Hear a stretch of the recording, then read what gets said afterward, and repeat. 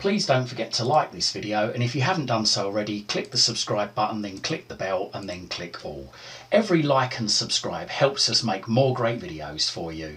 This guide shows you how you can save web pages in Google Chrome. So all you need to do is open Google Chrome and there's two ways of doing this. One way is to save it as a PDF, which I'm going to show you first of all. So we'll just get up a web page, for instance. Let's just go to, I don't know, let's just go to bbc.co.uk forward slash news. Let's just have a look at the news on there.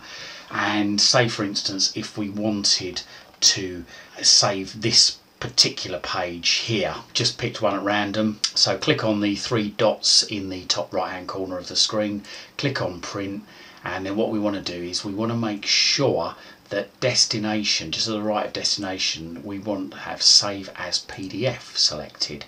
So make sure save as PDF is selected, then click on save.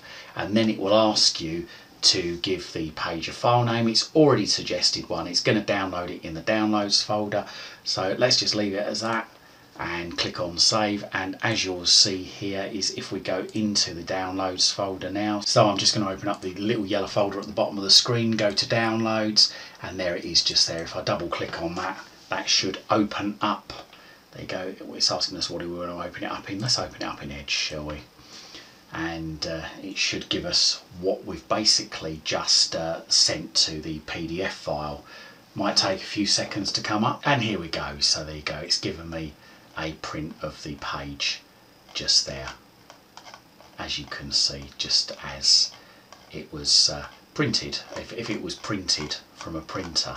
Now the other way we can do this is to let's just close down Microsoft Edge and I'm just going to delete this file shut this down and I'm going to go back into Google Chrome. And this time I'm going to download an add-on. So I'm going to go to the three dots in the top right hand corner of the screen go to settings and then once settings is loaded I'm going to go to extensions down there in the bottom left hand corner. Okay and then I'm going to click on the three horizontal lines in the top left hand corner and then go down and click on open Chrome Web Store then once Chrome Web Store's open I'm going to click in search the store I'm going to type save as MHT that's save as MHT press the enter or return button on the keyboard and then I'm going to click on this save as MHT here, the one with the arrow pointing down and the dot MHT in there. So let's just click on that. Then I'm going to click on this add to Chrome up here and then I'm going to click on add extension. Now this bit might take a bit of time. There we go, it's now installed. So I'm just going to get rid of that little cross there. I'm going to click on the jigsaw puzzle there and I'm just going to click on the little drawing pin just to the right of save as MHT, just so it pins it up to the top of the screen there. Now all I need to do now is let's just go to the page that I want to save as. So I'm just going to go to the BBC News page once more and let's go to the same story just to give you a comparison. So I'm going to go to that story there. I'm going to move my mouse over this MHT just here.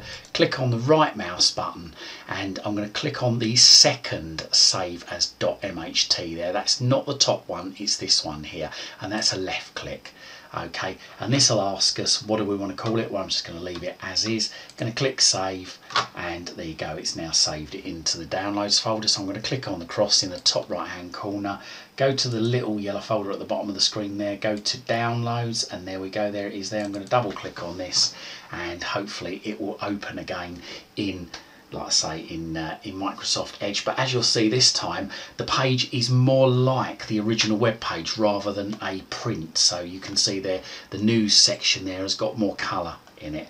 And if we scroll down the page as you can see all looks pretty good. There's a couple of pictures missing off of there but uh, pretty good for uh, a, uh, a, a, save as a web page. So there you go, that guide showed you two different ways you can save a web page to your computer using Google Chrome. I hope this guide helps and don't forget to check out my other videos. Thanks for watching. You can follow me on Twitter at CWTech. That's at CWTech on Twitter. And don't forget to check out my other videos in my YouTube channel. Just Google Chris Waite YouTube. And don't forget to like and subscribe to my YouTube channel. Thank you for your support.